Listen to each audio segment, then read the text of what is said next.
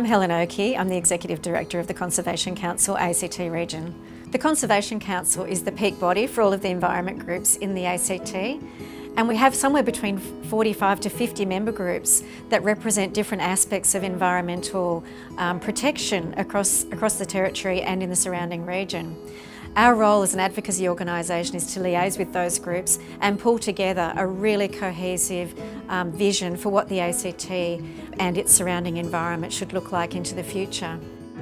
My name's Sarah Sharp. I'm a member of Friends of Grasslands, which is a community group that advocates for threatened grasslands and grassy woodlands. It's really important for FOG to be a member of the Conservation Council, as I think it is for most groups, because it is an umbrella organisation. It's an opportunity to actually a lot of people to have input into different matters so that we can get together and actually talk about these things from the different points of view, uh, whether it's birds or whether it's um, transport, and, and, and link them all in together with the, the conservation of these other ecosystems. It was even apparent when, when I was in government, that the, the achievements I think of our group and, and the Conservation Council, it was a highly respected group.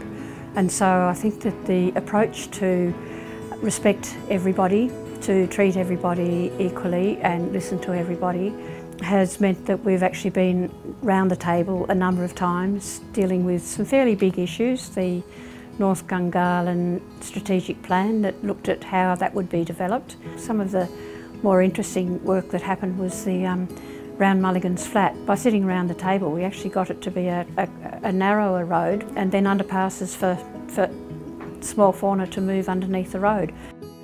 We can't see conservation as being separate from, from other uses. Uh, so I think that's the most important challenge is to move towards an integration, not a and or conservation or something else uh, in the same way of not government um, working on these things, or the community working on other things, but all of us working together for a common aim. My name is Ryan Lungi and I'm the Director of the Canberra Environment Centre. We run a lot of workshops for people teaching them basic skills to help them live a more sustainable life. I think this work is really important because people need to feel empowered to own the future of our climate and our environment and to not just rely on the powers that be to make the decisions for them. To know that simply by helping someone fix a bike or sew a cloth bag or to help in the community garden, people can walk away knowing that they've actually done something to help. The Canberra Environment Centre and the Conservation Council have a long history of working together. I love that the Conservation Council can represent me um, on a whole lot of issues politically. It's nice to know that you guys are doing the hard work for us out there. It's really important for us to work together and collaborate in the environment space so that we can achieve greater outcomes together, uh, to not duplicate things but to support each other and lift each other up. I'm Jimmy. I use he, him pronouns and I help organise and run the strikes uh, with the school strikers. For me personally, organising and like running these strikes is confidence boosting to see how much change is being made because I want it to be made and because other people want that change to happen, that it is happening. It's made me feel a lot better about everything that's going on in the world to know that I'm doing something I want to live in a world that's sustainable and uh, uses renewable energy and just a world where I can have a future. Canberra School Strikers, we have our weekly meetings here at the Conservation Council, it's nice to be in a space surrounded by people who share your beliefs and who are also working towards the same goal as you. I'm Rod Griffiths. Um, I'm the President of the Conservation Council of the ACT region. Um, been President for five years and been on its board forever, you know, since 1994. I think uh, people should really appreciate the breadth of uh, the community that is within the ACT and working for its environment.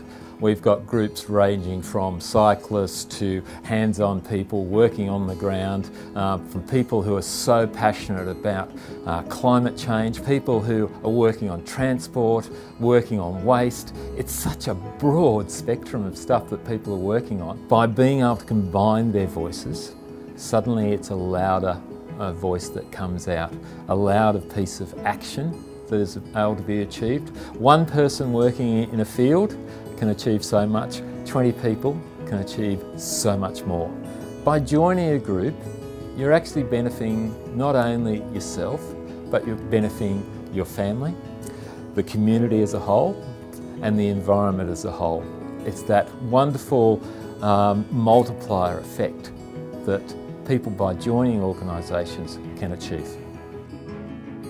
Hi, my name is Annie Close um, and I'm part of two climate related groups that are members of the Conservation Council, um, 350.org and Stop Adani. Now 350 started with a small group of students in the US asking their university board to divest from fossil fuels. So trillions of dollars that was invested in coal and oil and gas is now not doing so. Stop Adani emerged out of many groups in Australia deciding they needed to work together to do something about this Adani coal mine. Well, 10 years on, entirely due to community action, the mine has not yet started, although they are clearing land. You know, the Conservation Council has been here for 40 years. I think that's a real achievement. And I was very quickly involved with the forest campaign here um, in defence of the southeast forest, and many of those areas are now national parks. So that was led out of the Conservation Council. And we mustn't forget that the 100% renewable electricity that we have in Canberra was really headed off by a campaign that was based here in the Conservation Council. So Canberra Loves 40 was doing this work a decade ago and again, it was the, it's the community that's driven that 100%. The Conservation Council's capacity to connect with government, to, to stay politically neutral, has been an incredible, um, you know, incredibly valuable thing because it's a respected voice now with all sides of politics. Um, and so you can come here from whatever, whatever background you have, whatever your interests are, and you can be involved and do something positive and have a lot of fun. One of the really nice things about being a member group of the Conservation Council is you actually get to meet all of the other member groups and you have opportunities to engage with them, to discuss issues from different angles, and it helps us come up with a cohesive position as we learn from all the positions that member groups bring to us and all their experience and all their expertise. We need to take the community with us and the more people we talk to that come from different places, different backgrounds and who have a different story to tell about what the environment means to them. That's how we actually build our environment community and that's how we actually build the kinds of policies that we need to take forward to make Canberra a more sustainable place.